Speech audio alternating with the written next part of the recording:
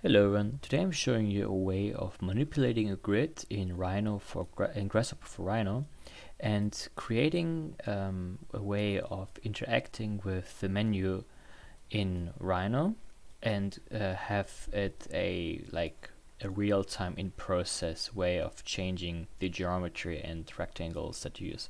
It's a very useful tool in order to see if you want to like shape places or squares or certain roads into just the basic volumina and it helps a lot by creating certain shapes to it. So the way this works is basically we're having the grid and um, we're putting a small like offset to it just can be like be whatever but we're like be in one set then those things will be extruded and we have um, each extrusion here. And then we're taking um, the middle point of each of those things and we are using a line. And this line will test if this point will be inside or outside. So if it's outside it will go away and if it's inside it will stay or the other way around depending how you see it so the way we're going to do is we're just starting with a new file here um, the first thing is going to be we have to like import those with um, the command geometry. Otherwise, it's also possible to do it in a different way. For example, with um, pipeline, it's called. Um, wait, geometry pipeline here. This will take, uh, for example, you can um, put this one on here, double click, and now we have um, all the curves that we have. We don't need to add them uh, later on. For example, if I put another rectangle here, you see it will show up, or if I put another curve here, it will show up as well. So we have this easy going. Next thing I'm gonna do is we create um, the rectangular grid. It can also be hexagonal grid or grid of whatever, so it doesn't really matter. And it will be um, where we want to have it. So we're gonna increase the size a little bit. Put some put parameters in here. So it's nice and big and we're gonna also change the size of those things as well. In my case I will just stay rectangular um, to keep it quite simpler to keep it simple.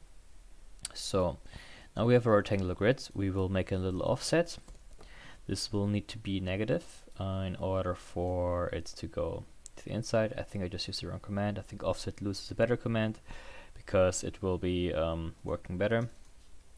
And it takes less um, power basically. So use this one maybe decrease this a little bit here. And we have to use a negative amount in order to um, so it goes to the inside basically. Now we see here we have our small rectangular like building type ish things so the next thing I'm to do is we use the command um, point in curve. Exactly, and it will uh, it will take this point that we like need to define. So we have to use the under curve analysis polygon center. You're gonna extract the middle point of each of those points, which will be in the middle, obviously. And um, we're also gonna flatten that because so we want them all like to react the same basically. And um, we're gonna have the points. And we're gonna have uh, the curve that we're gonna use them for. But the problem here is that um, if I would just simply put it in here in the curves that we have in the beginning. It gives us the relation of all of those things but the problem is that we have six different um, curves in this case and they will all be reacting differently. So if you're gonna dispatch it like here we want to dispatch the offset curves in this thing um, you will see it will not gonna work out or not the way of how we think it will work out as you see it will only take one in this case. So we all we all we, we want them to take a lot of those things not just only one. Obviously for this one it works great, or it doesn't as you see here, it just takes one randomly. So what we're gonna do is we're gonna flip the matrix. So in that way we're having like each of those um, points basically separately or like uh, here that we have to graft the tree of the curves um, we have each of those points even see if there is a point inside or not as you see for some sunsets that just like one here so we need to basically exclude um, each of those points if possible. If there's one point here, we have to exclude them for all the different instances. instances. So we're gonna do is just, it's actually quite simple. We just gonna use mass addition and um, we will mass uh, add those things together.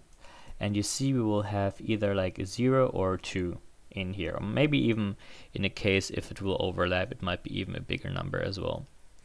And what we need to do now is we just need to um, uh, use like a higher or lower command, in this case just use uh, we're going to test if the number is zero it will stay and if it's going to be higher then it has to go out in all the instances.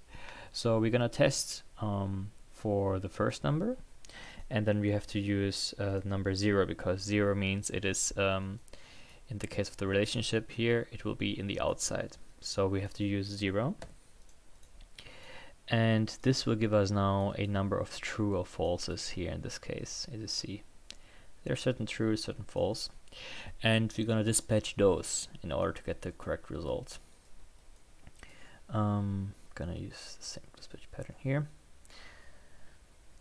I think I might have just used it wrong because now it is uh, I shouldn't have graphed it because now it will basically showed in every single one of those commands and that's not something I wanted.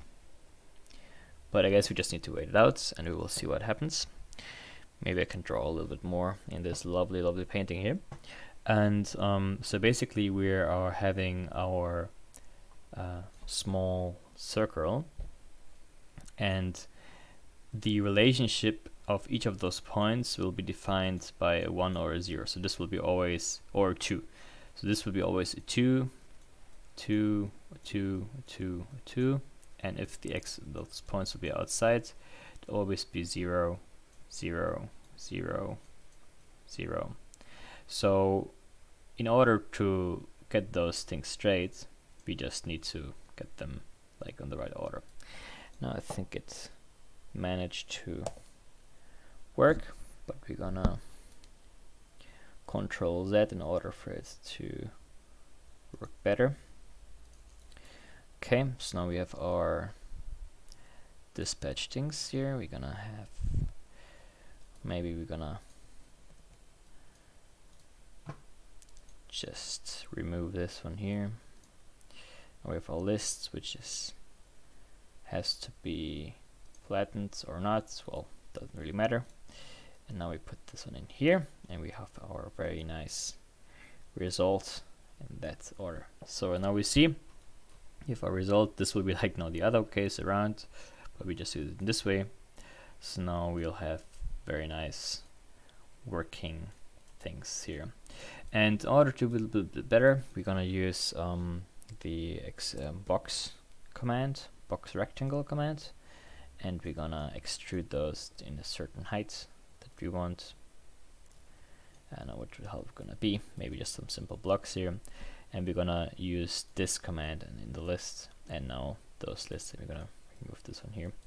We're gonna have our very nice like city. So if you want to add any new polylines in this case, they will be automatically added to it. And it's a very nice way to define like a certain ground way of shape of your city if you want to have certain roads that will lead through it and maybe you want to have a certain shape. I want to test out how it will look in the beginning and how you can like use it. And now we just simply like bake it. Okay.